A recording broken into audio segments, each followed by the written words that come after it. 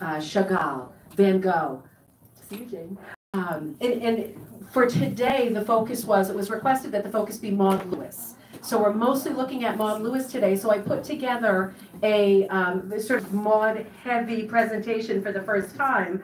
So the idea of the class in the book is to sort of focus uh, and enable people who are rug makers, particularly rug hookers, to do designs based on their favorite artists not just outright copying the design, which in many cases you can because the artist is copyright free, right? Then you can just outright do the thing.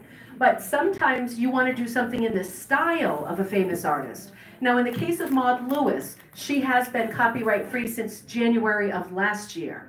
So just so you know in your head, oh, I love Maud Lewis. Well, you can do anything Maud Lewis that you want.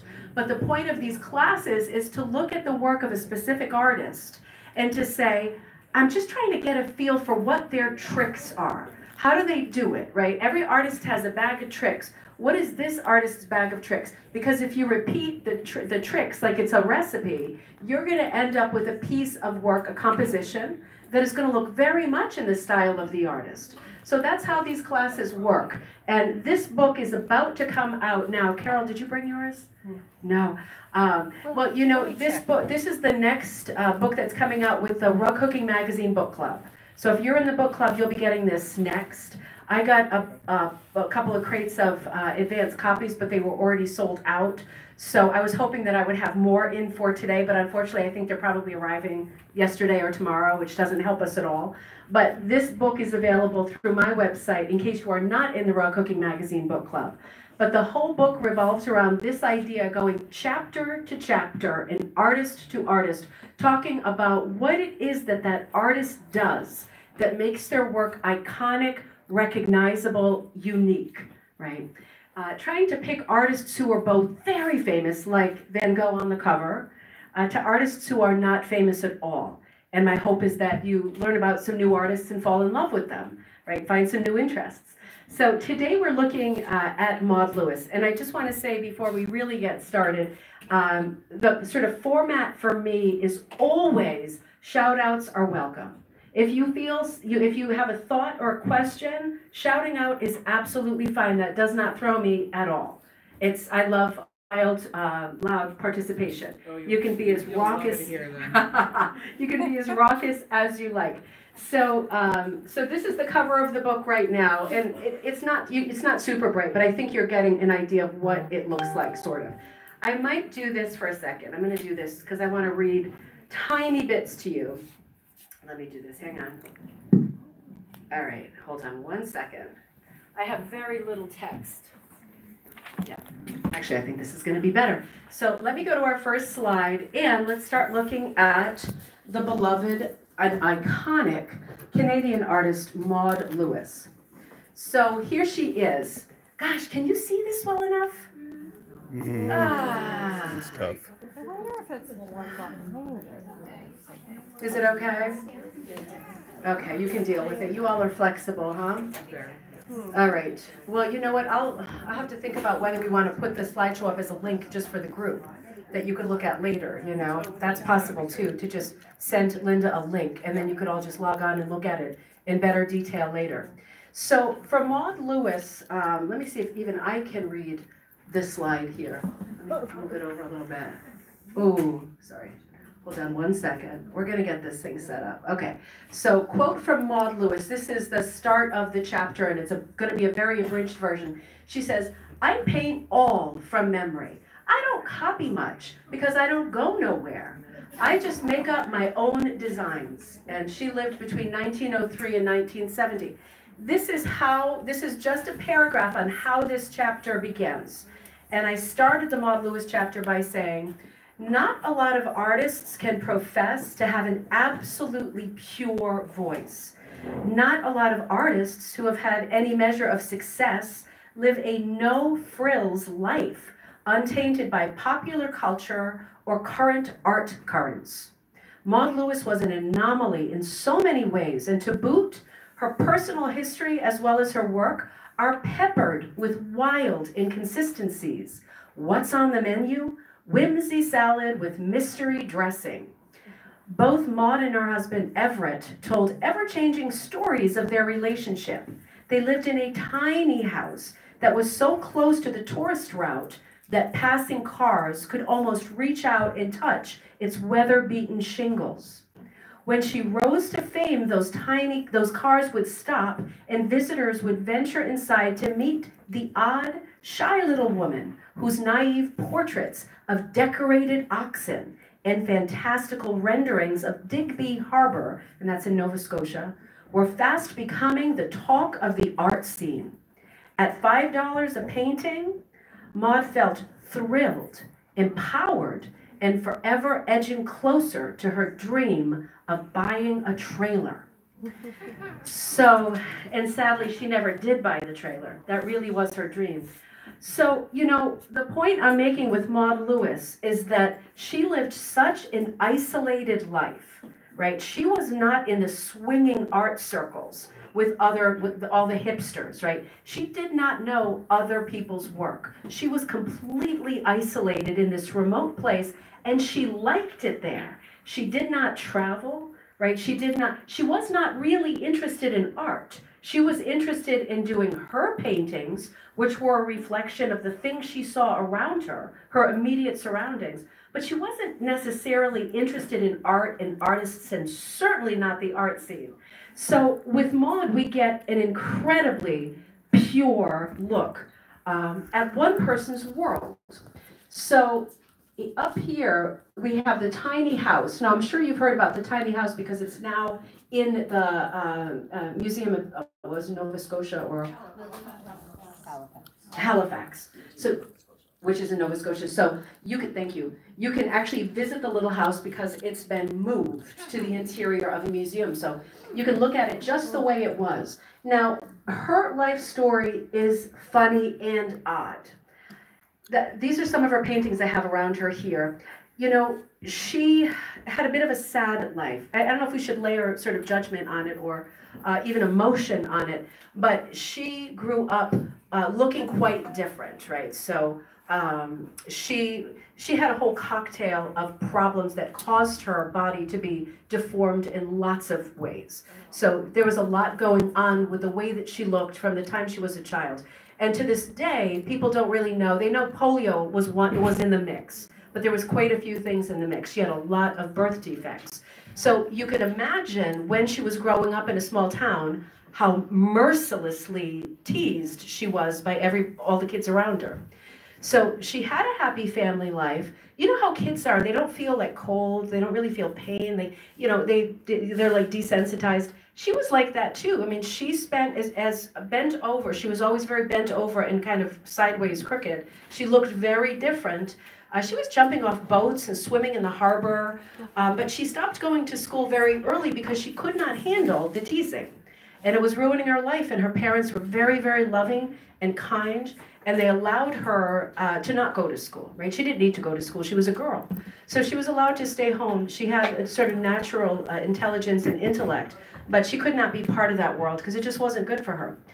Unfortunately, her parents died when she was quite young, and she ended up living with an aunt. And this isn't like a fairy tale kind of story. She didn't have a great relationship with the aunt. It wasn't like a evil Cinderella kind of thing, but um, it didn't work out, right? It wasn't. It wasn't making her happy. And so she decided to take matters into her own hands. Now you can imagine this little person who looks very, very different is really at a disadvantage in the big world. So she looked at the newspaper and she saw an ad for a housekeeping a housekeeping job. This man said, you know, I need a housekeeper, um, X amount of days a week, and she answered the ad.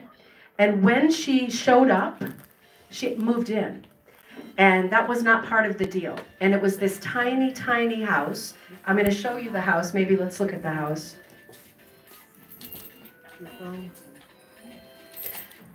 Oh, it's real hard to see. But it's this tiny, it's basically a one room house. We talk about tiny houses now because they're so stylish. But, um, you know, this was really pushing it. It was one room downstairs, you know, I guess open floor plan with the kitchen right there and a, putting a spin, a nice spin on it. It was absolutely tiny. It was like a garden shed, really. and a ladder, not even stairs, but a ladder like going up, like a, you know, the height, the uh, angle of a ladder, going up to a loft.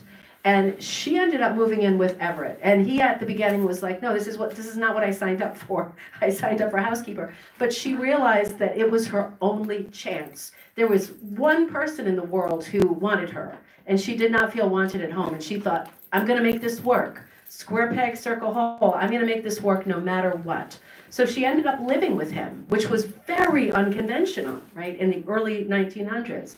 She ended up living with him, and he was kind of, um, you know, he didn't have a set profession. He was around the harbor a lot. He did a little bit uh, with fishing, a little, a little bit. Um, he kind of scrounged and and bartered and begged favors. Um, he, he did not have a lot of money by any means, and she did neither. And her aunt gave her a lot of trouble about leaving the house and going to him. And she loved him. And if you've seen this movie, Maudie, uh, you already know that there are some horrible spin, like Bing Crosby type spins on it, where everyone says that he abused her terribly. Uh, it's easy to say that after the fact, right? We don't know, but we know that she loved him and she wanted to be in this house. And they had a great, happy life together from all we see and from all she said. Movies do, I don't know. I don't know how much of the movie is true, but the movie is very, very upsetting. She loved being in this house and she immediately started decorating the house by painting everything. Now, he would go out in the morning. Oh, let me show you this first. This is what Digby, so the town, the larger town where they lived was uh, Digby, and there was a beautiful harbor there. And this is what it looked like in the very years that she was just moving in with Everett. So it was a bit of a destination. It had a little concentration of buildings at the harbor. It was known for its lovely views, particularly this one over here on the bottom left, the two kinds of islands, right, meeting that is very iconic of her work. We see this view with this collection of islands and pretty much everything she does. We also see, you can't see it well here, but the oxen, right? The pairs of oxen with their decorated harnesses. This was part of the culture there. So this is the reason she painted it because like she said, I don't go nowhere, right? I only paint what I've seen and what I can remember. That's it. That's all I've got. So very, very limited and very limited scope as far as where she could walk, how she was feeling. Her world was right around her, right? It was right in this tiny house where she painted uh, every every possible surface. I mean, she painted the stairs, she painted the stove, she painted the windows. And I don't know how uh, Everett, uh, they ended up marrying, not immediately, but they did end up marrying. I don't know how Everett felt about it when he would come home at night and she would have painted an entire new feature, because uh, it's a lot. It's not for everybody, but it's quite beautiful, but it's a lot. So she spent a lot of time inside painting, and it occurred to her one day, I think I can make a business out of this. I think I have something here. So, right, little entrepreneurial spirit. She's had a hard life, but she does have a bit of an entrepreneurial spirit. There we go. So, let's look at some of her work. Um, these are all winter scenes, and it is a little bit hard to see, but if you focus really hard, you know, her work is naive because she did not know about perspective, the uh, golden rectangle, uh, proportion, right? She didn't know any of the basic things about composition. She does something in her work that people historic, like ancient peoples historically have done, particularly in Eastern cultures, like the Persian culture. If you picture any kind of um, Eastern style painting, the higher up you go in the composition, it means you're further away. So even if there's no perspective, right, because you're not, you don't have a handle on that, you know that the things that are higher up, like the mountains, that's far. And you know that the thing right here, like a row of flowers, that's close. And even though the size is wrong and everything technically is wrong, that's how you read it from, from bottom to top. And that's how you know where you are in the painting. Her paintings work like this because they're very, very flat. She does not have a handle on uh, composition. And of course she doesn't. But it's interesting how the important things are present. she figures out, particularly because of the volume of work that she does, hundreds and hundreds of pieces. Sometimes she would do 10, 15 pieces in one day. Now, these are small little pieces on board. Everett would cut the board for her, and they were like uniform board, and put them in front of her, and she would paint. And if if that if that composition sold, if little covered bridge or little horse, you know, towing a, ca- a, a cart or whatever, if that sold, she'd make 20 more of them because she'd think, okay, well, this is a good one, let's go. So she she tends to copy again and again and again the same compositions. Now, this is the part that we hardly ever talk about. Because of her physical health, she often isn't the painter. Everett's often the painter. And oh. yeah, so that's tricky. And sometimes he signs his stuff, but sometimes he doesn't. Sometimes he signs it Maud or she signs it uh, for him. But we know that she didn't paint everything because she really couldn't. There were, with her kind of um, constitution, there were good days and bad days, and there was a lot of bad days. So business had to keep going, and you can imagine how excited uh, Everett was when people started stopping. You know, she put a little sign out front that said paintings for sale. He was very excited because this was the most money that that they had had, either of them. Right? She was making the money. She was the breadwinner. He was perfectly at peace with that because it seems like he was a little bit lazy. So that that was okay for him. Uh, the only way that she got her paints um, the way she got them was Everett would go to the marina or to the harbor where people were painting their boats and touching things up. And if they finished and there was a little bit left in the pot of the marine paint, he'd say, "Can I have? Can I have that?" And so he got almost all of her paint from the marina, scrounging it. He was a great scrounger. And so almost all of her paint is very high shine glossy because it's it's marine paint, it's boat paint. And there were times when when she got um, a little bit of traction with finances and she could afford to get a paint set. He got her a paint set at one point, like acrylics. She didn't like them. You know, all of these mixed colors, she didn't like them. So the problem with having only paint that has been scrounged, little pots that she set up that she put in little peanut butter jars and little leftover jars, little mason jars, she just dumped the paint and mixed it like, you know, a very limited color palette. She didn't have all the colors she needed. And this was a thing. So there were times of the year when she would be wanting to paint like a whole series for spring or whatever, or winter, and she literally didn't have enough of the right color of paint. So we get a situation with her work where we get a lot of in wild inconsistencies. For example, it's hard to tell in these pictures, but if you look, these are all snow scenes, right? Mm-hmm. But uh-oh, there's a lot of flowers coming up in the snow, and there's a lot of autumn trees and cherry blossom trees blossoming in the snow. And people would call her out on this and say, what's going what's going there's a little confusion of seasons here what's going on? And she would make stuff up. She was a great uh, tale teller and everett was too. And she would say well you know on this one particular year it was funny because all the spring flowers were up and the and the ground was covered with snow. Or she you know she never admitted and maybe it was a pride thing but she never admitted the reason she had to go to other colors was because she ran out and there was no more. And she had to cover the space so she had to go with colors that didn't make any sense she does this.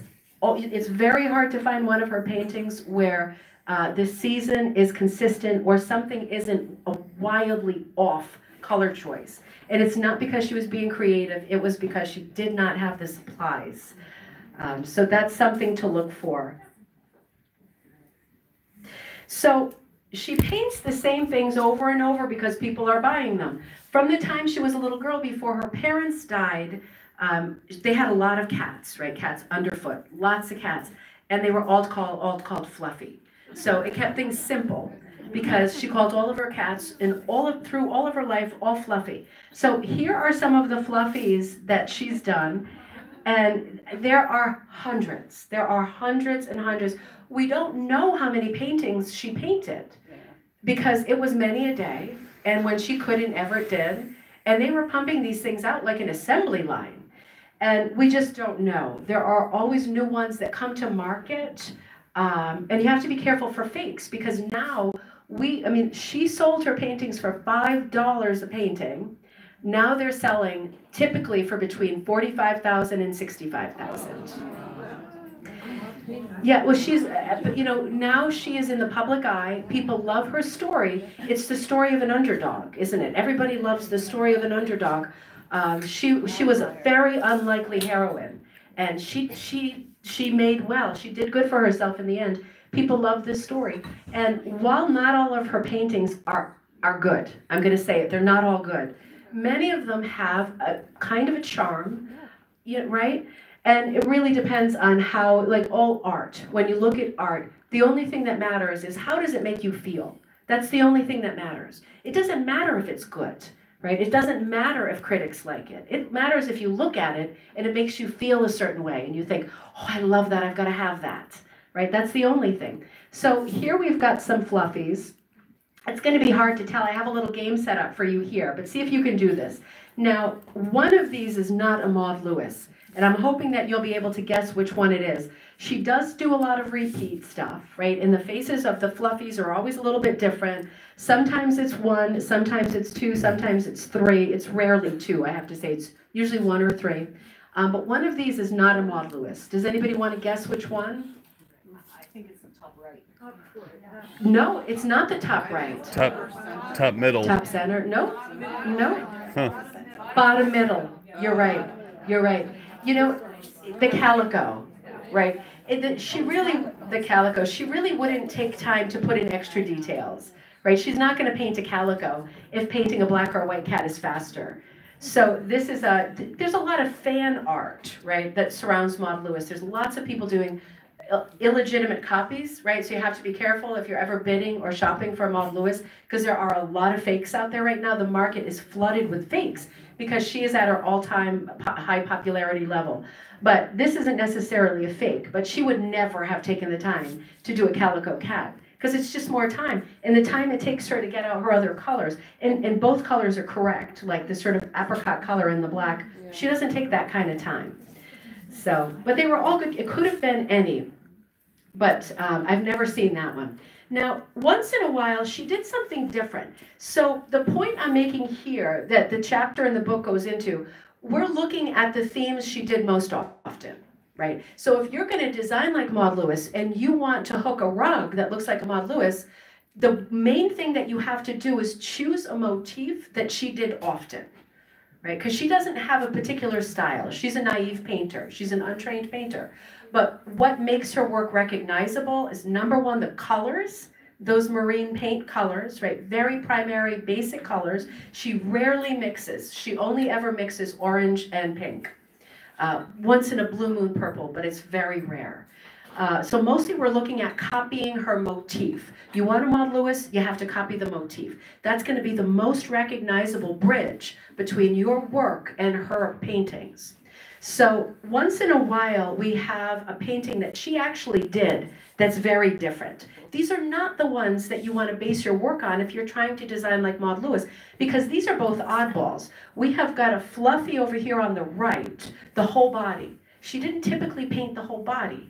It was much easier to just crop it, paint, move on, onto the next canvas.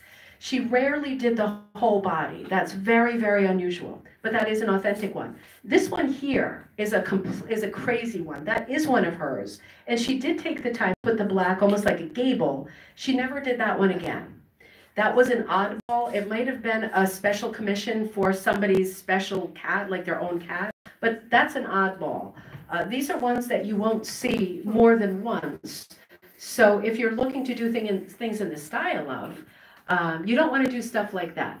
Now, she did experiment with, because she loved cats. What does she paint? She paints what's around her, right? She doesn't have a lot of options. She only paints what she knows. She's like a writer, right? I only write what I know, right? So she knows cats. And she did a little bit of a series that are quite good because they look like typical folk art, right? It's, a, it's part kind of cat portrait and it's part still life. So she's got at the top left cat with balls of yarn and knitting and knitting needles and a little flower arrangement. And then over on the right, she's like, oh, I have one more idea. Cat, balls of yarn, knitting needles, cat, flowers. Oh, and how about a butterfly? right? So then she adds the butterfly. Brainstorm. And then on the next one, she's like, okay, two butterflies. We're going to go for two butterflies. So you can see the progression of her work and her thoughts. She's thinking sometimes when she, maybe she's energized, maybe her painting uh, sort of correlates with her moods, her energy, and her health. But sometimes she gives she gives it some gusto and she and she does a few extra bits and bobs. So two butterflies. In this one, she's like, forget the flower pots, let's go for the butterflies. Right? So she's experimenting with her own motifs. She realizes that she loves having the cat, she loves the balls of yarn, and she loves the butterflies. Now she's going to take it a step further, and these are these are ones that are not that recognizable as Maud Lewis, but they are Maud Lewis paintings. So on the left, she's never done anything like this after. Cat in a teacup, right, with butterflies. Now that's really clever. So it doesn't ring as a Maud Lewis because there's only one of that design. But I have to say, in terms of being a cute and sweet painting, that is a very that's a very nice composition right? And this is really popular now, putting animals into teacups, right? This is something that's a bit more contemporary. But she was way ahead of uh, ahead of her time, putting the cat in the teacup. And then this one, a bit of an oddball, um, just the cat head, uh, looking at the butterflies. She never did that before either. Kind of the evolution of her ideas as she goes along. So while she's not a trained artist, she is painting and she is using her own painting to evolve right? She's not looking around at other artists and going, that's a good idea. I'm going to incorporate that into my work. She's she's building on what she's already done. Still no outside influences. She ends up really liking the butterflies. And she takes out the cats in some places, right? Because this sort of cherry blossom arbor is classic Maud Lewis. That's classic. That works great. It works like a theatrical curtain, having that sort of awning or canopy of um, cherry blossoms or blooms or hydrangeas or whatever. She does different flowers, but she takes out the cats and she puts in the butterflies. So she's figuring out how to come out how to come out with um, some new compositions um, based on her own work. She's building on her own catalog. Now, this is another classic theme, and this is a local theme for her. Because to me, it's like, who wants a picture of two oxen? But if you vacationed there and you saw them, this would be a great um, souvenir because they're all over the place. The decorated oxen are all over the place. So if you wanted a $5 souvenir, this would be a great painting to take away from Nova Scotia. So she's got lots of variety uh, in her decorated oxen. These are busier paintings for her, and these must have taken a lot longer. But some of these are great examples of how she sets out her composition. Flowers on the bottom, oxen, and sometimes mountains or trees or clouds. So still reading up, that never changes, right? She never she never gets kind of beyond that. Once in a while, she does something like the one on the bottom right here. That's an exceptionally good composition, I have to say. This is really advanced for her. I never she's never did this again. But the two oxen kind of sideways and the person driving the cart and a little bit of the pond or the harbor in the background, that's very good. I don't know if she realized when she did something that good because she didn't repeat it. So either it didn't sell easily or uh, she didn't like it. But once in a while, it was like it was like lightning struck, and she did something amazing. This is another one of her big motifs, deer, usually deer in winter. Now, these are maybe her least great paintings, right? It depends on how you feel about deer. But with the deer, with the deer paintings, uh, a few things show up about the naive quality of her painting. For example, if you look at when she's got a stream, she's got the rocks set out like equidistant to each other. Like that would never happen in real life.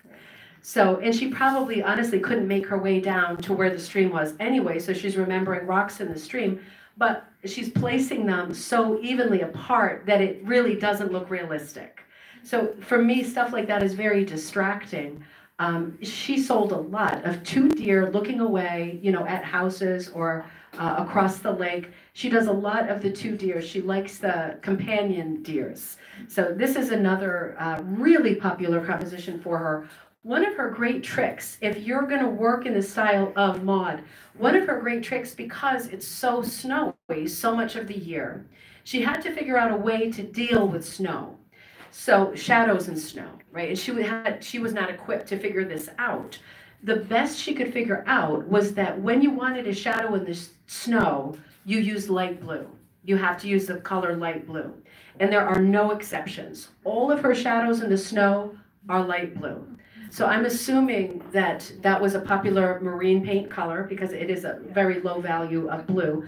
But yeah, hopefully, because she needed it all the time. She needed it all the time. She did mostly snow pictures and she never figured out uh, a different way of handling shadows.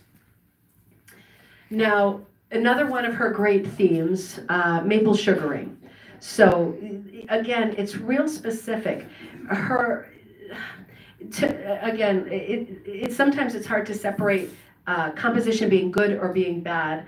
And then so you just have to say to yourself, it's Maud Lewis, right? It's folk art. It's naive painting. It, this is an untrained artist. Um, but she's really just showing you like a postcard picture of what it looks like. She's probably actually working from postcards sometimes, photographic postcards, right? Because she doesn't, she's she's not physically uh, capable of making her way to lots of different places and visiting. So she's got some kind of reference, but she will do this one again and again and again. Um, and this is a popular one to take away as a souvenir. The harbor scenes, I think, are the most um, epically great of hers. She does a lot with birds at the harbor. Birds descending, birds stealing fish, birds squawking and flying away. And she obviously loved watching birds. Um, and it, it, reminds me of my grandmother, the way she used to wake up in the morning and make popcorn and watch the birds on the back step. It's like something for Maud about just sitting and watching the birds was something she loved. She really thought they were funny, enjoyed them, uh, and they were very easy to paint. So this is a great uh, composition idea for her. She had a lot of memories of being down at the harbor, right? Because when she was a girl, she's had the same problems, but she's a bit more energized and um, her sort of back hadn't bent quite so much. She could she could stand up enough to walk and swim. So she had really fond memories of being at the water's edge. Uh, probably most of these are painted by memory, um, but these are maybe her best pictures. Now, I'm going to go out on a limb and say, of the harbor pictures, I think these are actually her very best. These are not iconic Maud Lewis, right? These are one-offs, and we do not see these three compositions again, but my God, these are good paintings. I mean, look at this big one here. Composition-wise, that is fantastic. These two as well. The man who's fishing, the fisherman dragging a fish up on board the ship, right? These are things she knows. She knows these things well. So it's easy for her to access those memories and to get them down on the canvas. Um, thing, traits and things that she recognizes are her strongest. Um, and, and again, I don't think she realized how good some of these are. This one here of the fisherman cutting the fish open, right, the fluke or hake or whatever that is, that's an exceptionally good painting. And this would have been same size, right? She just got it in her head one day to do that painting. Now, if I saw that painting in a gallery, I would not think that was Maud Lewis at all. That is extraordinarily good. It actually reminded me of this famous Grenfell hooked rug. Uh, and I think this is called Hake or something. It's in the Silk Stockings book, right? So this motif, right, this Nova Scotia motif of the opened up fish is a big is a big motif, and it makes a great shape. And this is the one time that she's using that really iconic shape uh, in one of her paintings. It's it's an exceptional one. And weirdly, um, although the prices on her paintings are through the roof, the ones that I would say are better, are, are just better paintings, they're not necessarily the ones that sell for the most because people want the iconic ones. They want the fluffies under the cherry blossom arbor, right? You, they want to have the one that you see it and you go, oh my God, is that a Maud Lewis? They don't want the hake, right? Even though it's exceptionally good these two, right? She only did, as far as I know, these two of a fisherman repairing his net. Come on. How good is that? They are so good. But yeah, either it took too much time, uh, took too much thought, or it didn't sell because she didn't return to that. These are, I'm just showing you kind of a cross section of what some of hers looked like that were exceptionally good. She, you know, because she didn't know anything about composition, she didn't do anything on purpose. But sometimes lightning strikes, right? And you don't know why.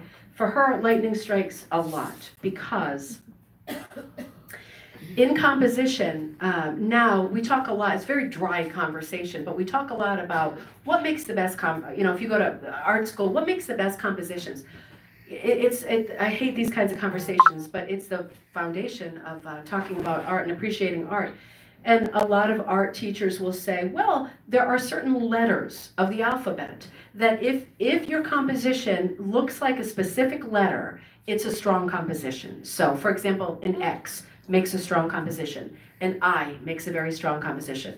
Now, she accidentally did a lot with letter compositions without knowing it was a thing. So for example, what kind of composition, if you were to choose a letter of the alphabet, would you say these two paintings are based on? You. Yep, absolutely. Yep. Um, I would say I would say you, but it makes a great composition. It tells a story. It connects motifs. Um, incredible. What about this one? If you were to choose a letter of an alphabet of the alphabet, what about these two?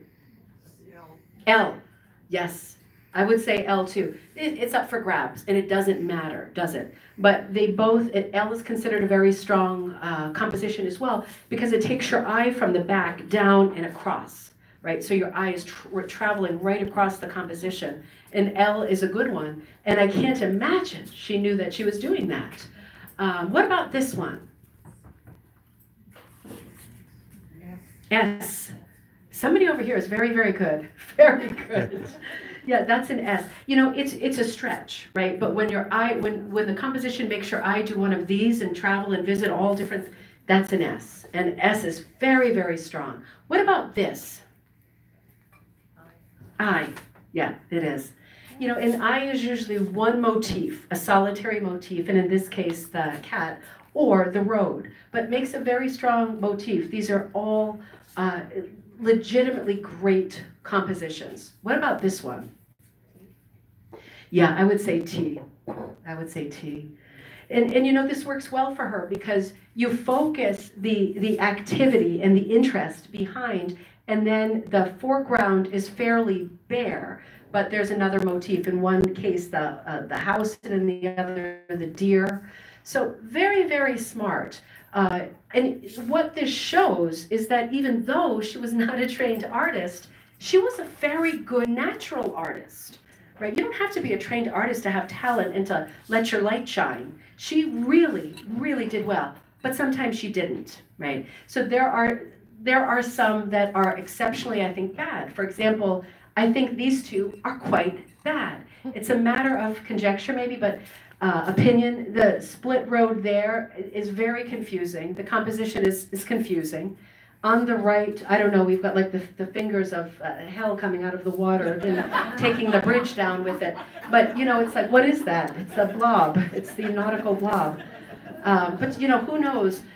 So these are these are not Maud Lewis paintings, right? These are this is fan art of her little house. But what would you say? It looks like Maud Lewis. Why do you think these two paintings look like Maud Lewis paintings? Color. Color color and fluffies, right. So exactly, those are the two answers I was looking for. The colors, absolutely, and then the fluffy cats. So scattering the composition with motifs that were very unique to her work. That's all you need to do. This is another, another one, um, same thing, fan art, but putting together like a composite uh, composition where you've got the little house, which is an homage to her and uh, Everett and some little fluffies and then a bunch of flowers. So just putting together all of the elements, all of her favorite things into one composition. Um, there was other ones like this that just didn't do, they just are not great compositions uh, for different reasons. And she experiments. And to be fair, she doesn't repeat comp these compositions. So the one on the left kind of suffers from too much patterning right? It doesn't have a lot of color, but it has a lot of patterning. I don't know what the black things are on the tree. It's, it's a confusing composition. The top right, she tries this a lot, but it always looks like the deer is in pain somehow and not crossing the river. It's not a happy composition. And I can't imagine if you were choosing between, uh, you know, languishing deer and, and cute cats that anybody would choose that one. Um, so yeah, she tried a couple of times with that. She it didn't it didn't work out. And then stuff like this, she does a bit more of a serious landscape, but a lot of dead branches and stuff in the front. And again, yeah, I don't know, composition with dead dead trees in the front. So it wasn't always a home run for her. Um, ironically enough, uh, it, it seems to me like her best painting was the stuff she didn't sell. And it might be that the she wasn't it, there was no pressure. She wasn't thinking of it in terms of, oh, I hope this sells. But you know, her sign that she painted that was hanging outside her house while she was alive, paintings for sale, and then the door that she painted on her and Everett's little cottage, those are very good. So, it, it, as far as peeling Maud Lewis motifs, look at her um, birds and stuff on the stuff that's actually in her house um, even over her paintings because it's very, very good. Even inside her house, it's hard to see here, but she's got uh, up those little ladder steps. She's got little flower pots on each step. It's very good. And I think it was a case of she was doing it for herself. She didn't have any expectation. Um, oh gosh, what was I doing with this one? Hang on, let me let me rejog my memory. I had a great idea. Let me just look at my notes really quick. And I had some more audience participation fun stuff. Let's see.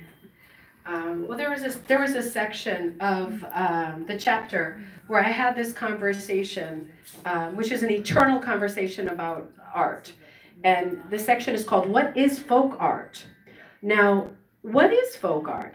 Originally, it was it was art that was made by the folks, by the people, unschooled in art who sought to express themselves and create their own ideal of beauty without benefit of training. Folk art happens to be my favorite branch of the arts because it is not hampered or tripped up by such trivial things as perspective and proportion. Folk artists, having never been forced to respect a vanishing point or a golden ratio, figure out how to problem solve in a natural, creative way, and that is unique to each artist. One of the most common sense ways to solve problems of distance we've talked about is going from top to bottom with the composition. I always call in my head the top to bottom compositions the Maud Lewis layer cake you know, because it goes, you write it, and if you're designing like Maud Lewis, you want to think about what do I want first? Maybe a little layer of tulips, and then what do I want next? Like cats or a house or a harbor, and then maybe a couple of mountains, and then a few birds. But it is a layer cake, and you want to think of in terms of stacking motifs if you really want it to look like her work. Uh, sometimes Maud serves, uh, serves up a snowy landscape with children skating on a pond and oxen hauling off pikes on top uh, of a schoolhouse. Uh, and on top, and uh, then on, further on top of houses. In other words, sometimes the stacking, because there's no perspective, you've got something way on the top that's just as big as it is on the bottom because it's part of the story. So that's the thing about folk art is it doesn't always make make literal sense, but it is that is the charm of it as well. So you don't want to agonize too much about uh, that device. You just have to lean into it and accept that that's the way that folk art works, right? You, you can't agonize. Another device, or rather feature of Maud's work, is her color flexibility. So we talked about the fact that it was not a choice that she had to be flexible with colors because her supplies were limited. So when that is the case, you have to do you have to bend over backwards and do back backflips because um, you just don't have the supplies that you need. And she grew to really love working in the way she's a creature of habit. Once she figured it out, she was really disinclined to change her practice or to change her supplies out. So, um, so she just kept going. And she went like this for uh, all of her life, doing beautiful paintings like these. Um, you know, she she did go out on a limb once in a while. She did get a lot of commissions and she charged a little bit more for commissions. There are videos of her on YouTube where you can see her talking and interacting with customers. Um, yeah, you, you, get to hear her voice, and um, she's a, she's like a no nonsense character. You know, people come in. She's she's not um, effusively friendly. She's a no nonsense character. It's like, what do you want? Do you want a cat? Do you want a harbor? Um, she's and and you know, this is how much it costs. And oh, you want something different? It's going to cost more but she was a kind of hard-nosed, old school, I think of like as a, an old-time Yankee. Um, she's Canadian, but you know, she, she did so well for herself, all things considered. Um, and when she died, I think she died when she was in her sixties, um, which was quite a long life for someone that had all the health problems that she had. They were doing very, very well by the end, and sadly, her dream of having a trailer. In her mind, a trailer represented like freedom, right? And it, not having to really move because the trailer moves you. So you can feel however you feel or be as laid up as you are. And the travel takes to, the trailer takes you to a different view. In her in her mind, that was the ultimate dream. And she died right before she felt that they comfortably had enough to have a trailer. Um, and sadly, not to end on a sad note, I'm going to keep going a little bit with the presentation, but um, sadly, the really sad ending is um, after she died, because there was a lot of money in the house, burglars broke in, and um, Everett tried to fight them off, and they actually killed him. Oh. Yeah, so it wasn't a happy ending. He died. Um, yeah, so sad. Yeah, they, he was keeping money in the house. He was that old school kind of, you know, it was like under the mattress or in a box or something. Um, but people knew. So not, but they did, all things considered, they had a wonderful life and what they got was a gift. It was not expected. She was not expecting this life. She was expecting just to scrape through. She got a good life and she did it herself. She did it off her own back. But she got a partner who supported her, who helped her, who put the stuff in front of her, who enabled her. Do you have a question? I was wondering, do we know if when they got money together and they were doing well, did he still scrounge the paint? He did still scrounge the pain. He did. It was like a disease with him. Like he, he, even when they had money, he did not want to spend the money. So he is, he was like one of these um, eternally cheap people. That, but he did try to buy her different supplies. She just didn't want them. She tried them out. They weren't for her. But no, he still scrounged the pay. They felt like they had a formula that worked, and they were very reluctant to change the formula. So he kept doing what he was doing. They, they never lived in a high style, right? They never wanted to move. It was the thought that the trailer could take them away for X amount of months of the year. But five, five dollar increments, right, in the 1960s, it's good to have that income, but it's not like it's going to make you rich either. So it's not like she ever sold anything for like more than ten dollars. It's she never saw. She imagine how she would felt knowing her stuff is selling for sixty five thousand. Like that would not have been a thought. Yeah, that would not have been a thought. So, all right, so it is absolutely insane, but it's very collectible now. Um, and hold on one second, let me grab my next. So I'm gonna keep going just a little bit. That was the ball, because I don't want everybody to nod off and um, drive you crazy. But, you know, as we get to this last slide from Maud Lewis, uh, we've got, her birds have kind of evolved in this, uh, one on the left, which I think is an exceptional, very different one. What a beautiful rug composition that would make. This one on the left is one of her most uh, sort of decorative pieces. And in terms of composition, that's a very complete um, scene. Now, does that painting on the right remind you of any other artist? Naive artist from at the same time? But maybe an American artist? Yes, Grandma Moses, thank you. Absolutely. So that's exactly what I was going for. You know, they did not meet each other in their lifetimes. They were both naive painters. Oh, I'll never be able to. I had a quote for you on this one. Let's see if we can read it. Uh, they're basically, let's see, maybe we got this. I look out the window and sometimes to seek the color of the shadows and the different greens in the trees. But when I get ready to paint, I just close my eyes and imagine a scene. So, same philosophy. Untrained artists, right? Grandma Moses is very different because she, you know, uh, Maud Lewis had nothing. I mean, talk about the, the very definition of poverty. But Grandma Moses had a good working farm, right? Um, things were a, a very different lifestyle for her. But her life is between, her name is actually Anna Mary Robertson Moses. Her life is between 1860 and 1961. yeah, she had a good long life. In this slide, uh, I wrote, Grandma Moses began painting at 78 years old and sold her first painting when she was 79. She lived to be 101 years old, and she was a prolific painter uh, during those years, creating over 1,500 paintings. She never had a class in her life. Yep. Oh, I was just gonna say, Grandma Moses was a stitcher first. She couldn't, then she couldn't see as well, so she gave up embroidery and started painting. So, yep, so that, that comment, so you heard it was, uh, Grandma Moses was a stitcher first, and then she was losing her eyesight, or Yeah, she wasn't as good with the she wasn't as good with the needle, and she picked up the, um, yeah, yeah. Gosh, I was just reading about someone else that had that same story. Um, but sh- this isn't, I'm, I'm not gonna do as long of a thing, uh, on Grandma Moses. But, you know, I wanted to do kind of a compilation of naive female artists, um, you know, who have never had a day of training that ended up being really well-known artists who we seem to poach from a lot in rug hooking, right? Because we do get a lot of uh, Grandma Moses-esque, uh, compositions during the Pearl McGown period right? She does a lot of kind of Grandma Moses and Currier and Ives type compositions. So I started, you know, this design like book is will be out soon. And if you are in the book club, like I said, it's coming uh, in a week or two. Um, and if you order it from me, it'll probably come sooner. Um, but um, the, I had to cut the Grandma Moses chapter from the first book, but there's probably going to be a design like two right behind it.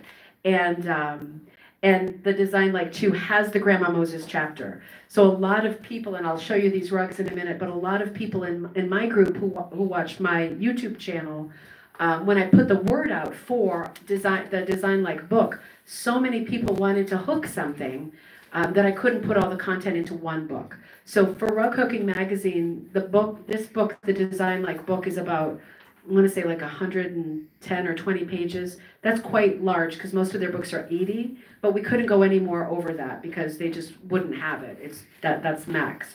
So this chapter got cut, but this is how the Grandma Moses chapter starts. Do you already love the work of Grandma Moses?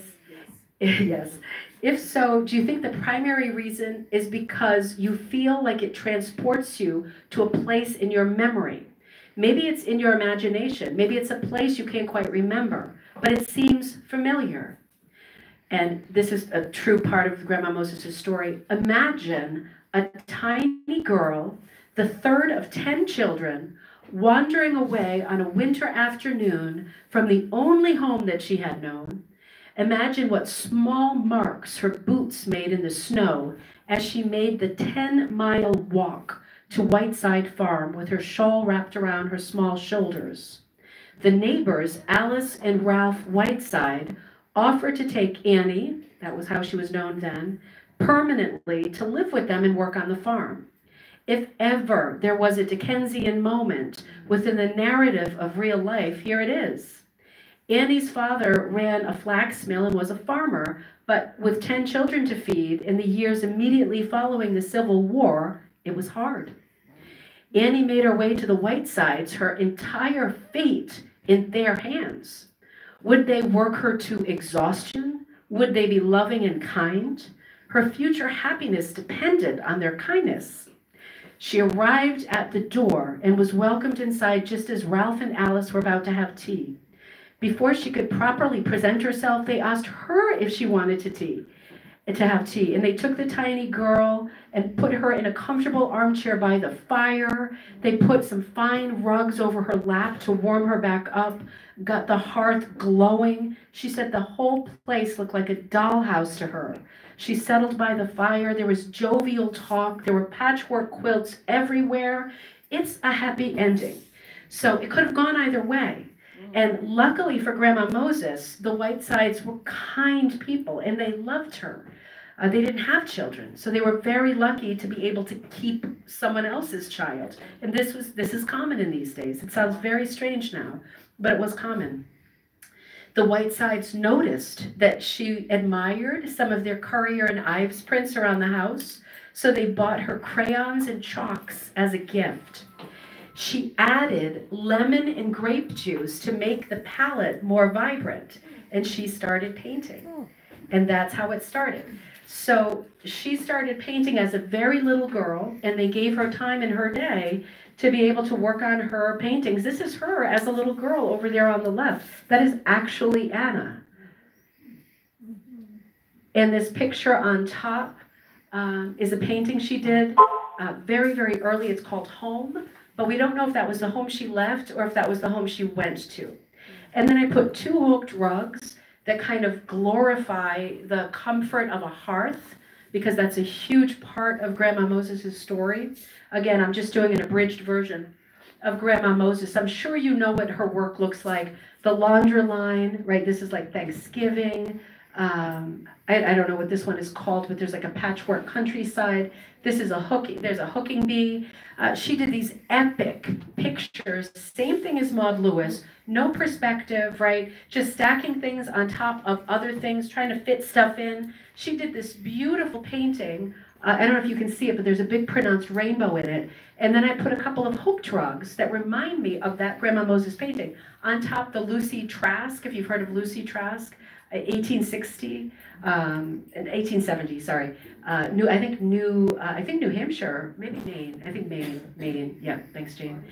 Yes, very well known. But her famous rug called the Rainbow. This is one I saw in a store that I should have bought. I, well, that's my thing that I think about in the middle of the night. Why did I buy it? Well, because it was like twelve hundred dollars. But Yeah, well. yeah, that little thing. But yeah, and then reminding you um, as we close out of another very well known in the rug hooking world, naive female artist, Magdalena Briner Eby. Right, same story, same kind of a timeline, Victorian era person, right? And she is really the first well known rug hooker that we can name. Uh, prolific, right? This is a photo of her that um, somebody in her family gave me for the book. Her chapter is in this design like book that's coming out now. She's in there. Uh, in her famous domestic zoo, her lollipop tree, another completely untrained artist who figured it out and whose work is really recognizable to us now. Now, when I was approaching all of these artists for the design like book, I, the idea was that I was going to draw a composition based on the tropes, right, that this artist does and hope that it was recognizable to people who know who know and love the artist. And different people hooked each one, right? I, I think I only hooked one out of 30 something. So, for example, this is the design for the Maud Lewis. And um, I'll just hold it. Does anybody want to um, help? Yeah, sorry. Uh, this is a small one, but Carol Palat in uh, Wisconsin hooked it. Um, and I have I have that here larger. I have two or three of them available as patterns. But she yeah she hooked it all in yellow and it's actually a harbor behind it but she made it all yellow you, you can do whatever you want right um, but yeah so that was carol's version of this this pattern is called uh, fluffies at digby and um, this one is a little bit harder to read because it is a busy composition i only have one of these patterns this is the grandma moses and let's see is she going to jump out at us Let's see. I'm going to show you. I'm going to show you all of these because people did incredible work, and for the most part, nobody has seen these rugs yet. This is Grandma. Yeah, it's a little bit hard to read. Um, oh gosh, who did the Grandma Moses? She did it in a very wide cut. I, Joyce, thank you. Yeah, she did it in a very wide cut. It's really pretty but it is a wide cut. It's a little bit hard to read. We probably should have made it a little bit bigger, but it's just gorgeous, and it has all of the elements. In the actual pattern, it says 1860. In the middle of the rug, they're working on together because that's when Grandma Moses was born. Um, so I have a few of these patterns here. I, I don't have a ton. Um, I don't have a ton, but this is the Magdalena pattern, and uh, Linda Ann Casau in Canada hooked this one the way that I was thinking about Magdalena was that, you know, we're very, I think, familiar with her lollipop tree or the lollipop bouquet, which is the tree with all of the big balls on it. Most people think that those balls are fruit, but I really think it's a family tree. You know how the Penn Dutch family trees have the big circles and that you'd write the name on it? I, I don't think it was ever a fruit tree. I think it was based on a family tree. Because Magdalena, her only point of reference was Penn Dutch art, right? She was in a remote part of Pennsylvania. So with this pattern, um, it has the Magdalena tree, but instead of having all the circles, balls on it, I've actually inside the balls put some of her most famous uh, uh, motifs, like the cats, the dogs, the bird with the cherry, the pinwheel, uh, some of her most famous um, motifs. So that's the way that the thing worked. Do you think we should show some of the other ones?